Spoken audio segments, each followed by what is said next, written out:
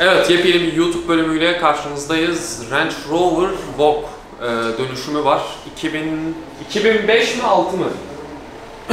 Duymuyorlar. 2005 olması lazım. 2000... Abi bu kaç tanesi dönüşüm? Evet, Carbon Art'ın yepyeni bir bölümüyle tekrar karşınızdayız. Range Rover Vogue 2006 model e, aracımız var bugün. 2012 dönüşümü yapılacak. Ee, çok fazla parça değişeceğini biliyorum ama detaylarını ince ince bilmiyorum. Ön arka tampon okey ama onun dışında panjurdur, fardır vesaire. Onlar için bir Alihan abiye bağlanalım. Ee, anlatsın bize. Ee, buyurun. Range Rover Vogue 2012 dönüşüm başlıyor.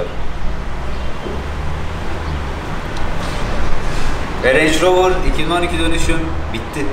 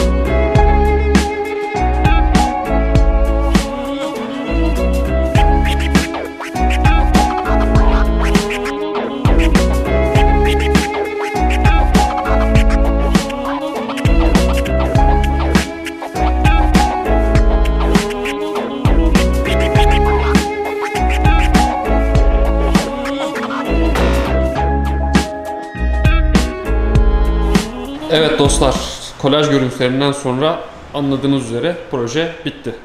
Şimdi özet görüntüler için Alihan Bey'e geçiyoruz. Ee, öncesinde konuştuk. Ee, Range Rover görünümlerini, dönüşümlerini ikimizin de sevdiğini söyledik. Çünkü araba hakikaten köklü bir değişime e, kavuşuyor. Ön görünüm tamamen değişiyor. Hani bu değişiklikteki ana sebep nedir? Ben.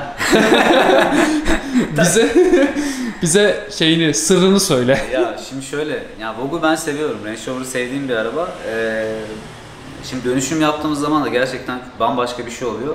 En çok sevdiğim nokta yani bir, sadece benim değil muhtemelen hani yaptıran kişilerin de, yaptırmak isteyen kişilerin de en çok sevdiği nokta farlar ve stoplar değiştiği zaman araba inanılmaz bir görünüme kavuşuyor. Evet ön tamponda değişiyor. Yani e, sisler biraz daha hani alt kısma geliyor. Ön braket değişiyor ama asıl köklü değişiklik e, far ve stopta. Ya ön farın içerisindeki o siyah parça gerçekten çok güzel. LED'leri çok güzel. Keza aynı şekilde arkadaki stoplar. Yandığı zaman özellikle akşam vakitlerinde e, ya pırıl pırıl harika bir araba oluyor. Bu arabanın e, böldüm özür dilerim. Evet. Dönüşümü halinde e, dönüşümünün dışında bir de galiba boya işleri yaptık. Derin çizikleri Evet, vardı. evet. Yani Onlardan bahsedebiliriz. Aslında e, arabayı ilk aldığımızda ufak tefek paint correction diye adlandırdığımız e, ufak tefek işlemler yapacaktık. Fakat arabanın etrafında gezdiğim zaman iki tane çamurlukta derin e, çizikler vardı. E, ön sağ çamurluk, arka sol çamurluğu boyadık. E, bir tanesine lokal boya yaptık, bir tanesini tamamen boyadık ki hani gerçekten hani yakışıklı, şık, pırıl pırıl olsun diye. Kapı kolları Kapı kadarıyla. kolları boyandı. Ee, yani sadece kapı kolu değil, hani kapı kolunun iç kısmı da deforme olmuştu. Ciddi anlamda çizikler vardı. Onları da boyadık. Ee, gerçekten bunları sökmek çok zor. Ee, çünkü arkaya giremiyorsunuz. Yani tornavida girmiyor, vidayı sökmek çok zor vesaire. O bayağı uğraştırıyor bizi. Aslında yani şöyle söyleyeyim, e, iki tane çok zor nokta var. Bir tanesi evet kapı kollarını sökmek, ikincisi de far ve stopun elektrik işleri.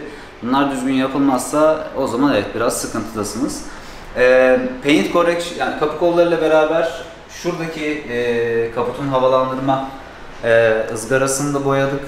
Aynı renkte. Genelde evet bütün Range Rover'lardaki kronik, ya kronik demeyeyim gerçi ama araba biraz yaşlı olduğu için o da e, yaşlanan eskiyen parçalardan bir tanesi. Keza aynı ince bir arkada şerit var. Onu da boyuyoruz. E, onlarla beraber biraz daha böyle hani genç bir görünüme kavuşuyor.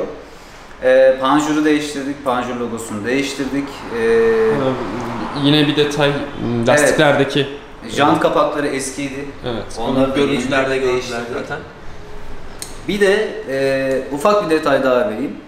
Gerçi her arabada görmüyoruz bunu ama e, bagajı kapattığınız zaman bagajın oturduğu noktada yani bagaj çok böyle ayarsız, biraz ayarsızsa orada da biraz paslanma olabiliyor. Keza aynı şekilde kapı içlerinde de Eşik dediğimiz yerde de e, paslanma ya da boya atması olabiliyor.